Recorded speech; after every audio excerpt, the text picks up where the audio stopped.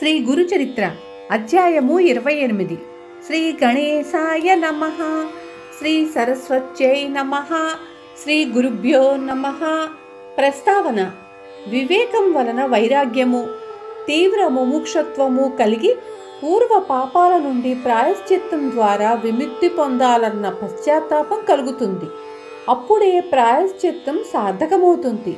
శాస్త్రోక్తమైన పాపకర్మ ఫలముల వివరం వినడం వలన ఆత్మ నిగ్రహం దృఢతరమవుతుంది శ్రీ గురుడు అందుకే కర్మ విపాకం ఉపదేశించాడు అని మానసిక భస్మము పాపాలను భయపెట్టునది. ఒక వంక ఈశ్వర మహిమను స్మరింపచేసే విభూతి ధారణ గురించి కూడా చెబుతారు. స్వయం ప్రకాశమానుడై మహాదేవుడే మహాభస్మమని ఎవరు చింతన చేస్తారో వారే భస్మదారులలో మహాభాగ్యులు ముఖ్యులు అని శాస్త్రం సయేష భస్మజ్యోతి. ఆ పరమేశ్వరుడే భస్మజ్యోతి అని భస్మజాబాలి స్మృతి. బాహ్యమైన భస్మము అందుకు బాహ్యమైన సహకారి అని గుర్తించాలి. ఇరవై ఎనిమిది ఇరవై తొమ్మిది అధ్యాయాలలో ఈ అంశాలను గూర్చిన వివరణ ఉన్నది. కథారంభము. అటుపై జరిగిన వృత్తాంతము సిద్ధయోగి ఇలా చెప్పారు. శ్రీ గురుడు ఆ చండాలునితో నాయన ఏ పాపాల వలన ఎలాంటి అధోగతి కలుగుతుందో చెబుతాను విను. ఆచారం పాటించని విప్రుడు హీనజాతిలో జన్మిస్తాడు.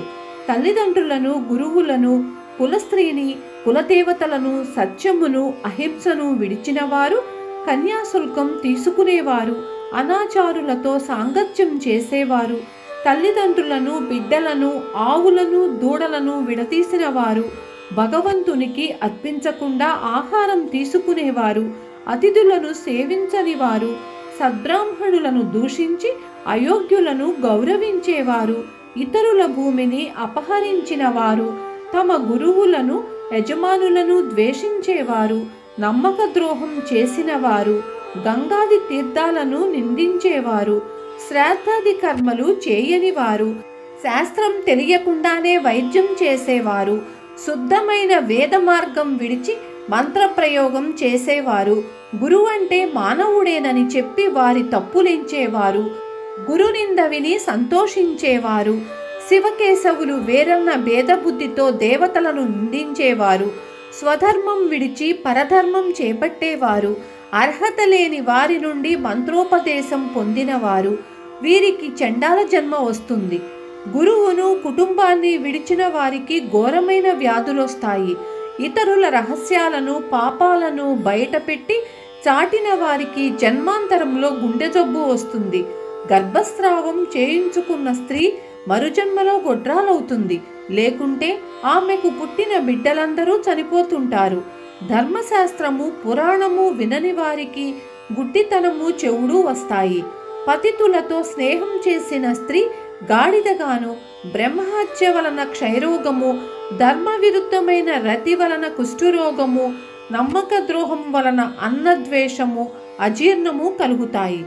ఇతరుల సేవకుల మనసులను విరిచి వారి చేత తమ సేవ చేయించుకునే వారికి చెరసాల ప్రాప్తిస్తుంది. పుణ్యకర్మాలను నిరసించేవారు వారి మాటలు నమ్మినవారు ప్రజాహితకరములైన చెరువులు బావులు తోటలు మార్గాలు యజ్ఞాలను ధ్వంసం చేసేవారు. ఏకాదశి మొదలగు వ్రతాలలో పగలు భుజించేవారు. దానమిచ్చి దానిని తిరిగి స్వీకరించేవారు. ఇచ్చిన మాట తప్పేవారు. పరధర్మమును అనుష్ఠించేవారు తమ పుణ్యాలు ఇతరుల పాపాలు ఏకరువు పెట్టేవారు. దాంబికుడు దుస్సంగుడు యంత్ర మంత్రాలతో ఇతరులను చంపేవారు. కర్మభస్తులు ఇతరులకు సంతాపం కలిగించేవారు. మరణించాక యమలోకంలో సూక్ష్మ శరీరంతో శిక్షలను అనుభవించి తరువాత చండాల యోనులలో జన్మిస్తారు. నామధారకుడు స్వామి నాకొక సందేహం ఉన్నది కానీ కథకు అంతరాయమని అడగటానికి సందేహిస్తున్నాను అన్నాడు సిద్ధుడు. నీవు అడగటం వలన కలిగే అంతరాయం కంటే మనస్సులోని సందేహం వలన నీ శ్రద్ధ చెలించే ప్రమాదమే ఎక్కువ. కనుక సందేహ నివృత్తి చేసుకోవడమే శ్రేష్టం అన్నారు. అప్పుడు నామధారకుడు స్వామి మరణం తర్వాత పూర్వకర్మ ఫలాన్ని యమలోకంలో ఒకసారి అనుభవించాక మరుజన్మలో చండాల యోనిలో జన్మించి మరొకసారి అనుభవించడం సమంజసమా? అన్నాడు. అందుకు సిద్ధుడిలా వివరించాడు. భౌతిక దేహం ఒక పరిమితిలోని కష్టసుఖాలను మాత్రమే అనుభవించగలదు. అందుకే దానిని మరణావధి శరీరము లేక పతనావధి శరీరము అంటారు. దీనితో అనుభవించ వీలు లేని అపారమైన కర్మఫలాన్ని పరలోకంలో సూక్ష్మమైన యాతనా శరీరంతో జీవుడు అనుభవిస్తాడు. భౌతిక శరీరంతో అనుభవించవలసిన వాటిని మరలా జన్మించి అనుభవిస్తాడు. నామతారకుడు ఏ పాపాల వలన ఏ జన్మలొస్తాయో ఉదాహరించండి. అంటే సిద్ధుడిలా చెప్పారు. ఏమి చేస్తే చండాల జన్మ కలుగుతుందో కొంత చెప్పాను. అంతేకాక క్రోధము సూత్ర స్త్రీల పట్ల కామాసక్తి ఎద్దునెక్కుట అల్లము ఆకులు మొదలగు రసవస్తువులను వేదాలను అమ్ముట భగవద్భర్పితము కాని ఆవుపాలు త్రాగుట నిషిద్ధాన్నము దుర్మార్గుల నుండి దానము స్వీకరించడము ఇతరుల జీవనాధారము అపహరించడము సంధ్యాకాలంలో నిద్రించటము బ్రాహ్మణుడికైనా మరుజన్మలో చండాల జన్మ కలిగిస్తాయి. యమలోకంలో అనుభవించే శిక్షలు ఎనిమిది కోట్ల నలభై లక్షలు. వీటిలో ప్రధానమైనవి ఇరవై ఒకటి. పాపి మరణించగానే యమభటులు వాడి ప్రాణాలను యాతనా శరీరంలో బంధించి అడుగుపెట్ట వీలు లేని భయంకర మార్గంలో తీసుకుపోతారు. వాడు ఆకలి దప్పుల వలన నడవలేక నడుస్తుంటే యమభటులు వాణ్ణి భయపెడతారు. వాడు మూర్ఛపోతే వాణ్ణి లేపి చీము నెత్తురు ప్రవహించే వైతరణి నదిలో ముంచుతూ లాక్కుపోతారు. ఇలా యమలోకంలో శిక్షణ అనుభవించాక వాడు భూమిపై జన్మిస్తాడు. లేక వాసనా బలం వలన భూతంగానో ప్రేతంగానో ఉండి శిక్షణ అనుభవిస్తాడు. గురుద్రోహి విప్రులను పరాభవించిన వాడు బ్రహ్మరాక్షసులవుతారు. హీనులను సేవిస్తే గాడిదగాను అతిథిని విడిచి భుజిస్తే కోడిగాను ద్రవ్యాపహారం కంటే ఒంటెగాను ఫలపత్రాదులు దొంగిలిస్తే కోతిగాను తేనె దొంగిలిస్తే పక్షిగాను మాంసం అపహరిస్తే గ్రద్దగాను అన్నం అపహరిస్తే మిడతగాను జలం అపహరిస్తే చాతక పక్షిగాను జానం అపహరిస్తే మిడతగాను విషమ పరిహరిస్తే తేలుగాను జన్మిస్తారు. స్వర్ణాపహారి క్రిమి కీటకాదులుగాను పక్షిగాను పుడతాడు. గడ్డి దొంగిలిస్తే పశువుగాను మంత్రరహితంగా భుజిస్తే కాకిగాను మిత్రద్రోహి గ్రద్దగాను జన్మిస్తారు. బ్రహ్మహంతకుడు క్షయరోగిగాను గ్రంథచోరుడు గుడ్డిగాను గణార్థచోరుడు గండరోగిగాను పరద్రవ్యాపహారి సంతానహీనుడుగాను వస్త్రచోరుడు చర్మరోగిగాను అవుతారు. అసత్యమాడేవాడు ఆహారం దొంగిలించేవాడు గుల్మరోగులవుతారు. నూనె అపహరిస్తే సుఖరోగము విశ్వాసఘాతానికి వాంతులు దైవధనము అపహరిస్తే పాండురోగము వస్తాయి.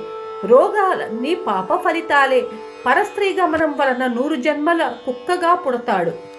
పరస్త్రీ భగవదర్శనం వలన గుడ్డితనము బంధు భార్యాగమనం వలన గాడిద పాము జన్మలు పరస్త్రీ ఆలింగనం వలన గుండెపోటు కలుగుతాయి. నామతారకుడు శ్రద్ధగా విని స్వామి ఇది వరకు తెలుసో తెలియకో పాపం చేస్తే దానిని పోగొట్టుకునే ఉపాయమే లేదా? అన్నాడు.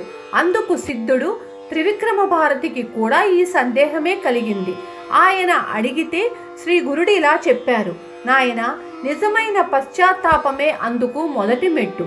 అటు తరువాత వెనుక తాను చేసిన పాపానికి ప్రాయశ్చిత్తం చేసుకొని తప్పును సభలో ఒప్పుకొని సభ విధించిన శిక్షను అనుభవించాలి. తగిన కృత్యాది వ్రతాలు ఆచరిస్తే పాపం నశిస్తుంది. అలా చేయడానికి తగిన శక్తి లేకుంటే గోదానం వలన కానీ లేక గోవు యొక్క వెలను దానం చేయడం వలన కానీ పాపం పోతుంది. దశ స్నానాలు రెండు వందల ప్రాణాయామాలు. సువర్ణ దానాల వలన కొంత పాపం నశిస్తుంది. సద్గురు సేవల వలన మాత్రం మహాపాపాలు కూడా మటుమాయమవుతాయి. అంతటి సాధనము ఇంకొకటి లేదు. ప్రజాపత్య కృత్యం అంటే మొదటి మూడు పగళ్ళు తరువాత మూడు రాత్రుల యందు మాత్రమే భుజించాలి. తర్వాత మూడు రోజులు ఆయాచితంగా వచ్చినదే భగవత్ ప్రసాదంగా తింటూ ఉపవసించాలి. మరి మూడు రోజులు పూర్తి ఉపవాసం చేయాలి. పదివేల గాయత్రి జపము అందులో పదవ వంతు గాయత్రి హోమము చేసి పన్నెండు మంది బ్రాహ్మణులకు భోజనం పెట్టి గోదానం కానీ లేక గురిగింజ ఎత్తు బంగారం కానీ దానమివ్వాలి. శుక్లపాఠ్యమి నాడు ఒక ముద్దతో మొదలుపెట్టి పూర్ణిమ వరకు రోజుకొక ముద్ద పెంచుకుంటూ రావాలి. పౌర్ణమి నాడు పదిహేను ముద్దలు భుజించాక మరలా రోజుకొక ముద్ద తగ్గించుకుంటూ వచ్చి అమావాస్య నాడు ఉపవసించాలి. ఇలా చంద్రకళను అనుసరించి భుజించటం చంద్రాయణ వ్రతం అంటారు.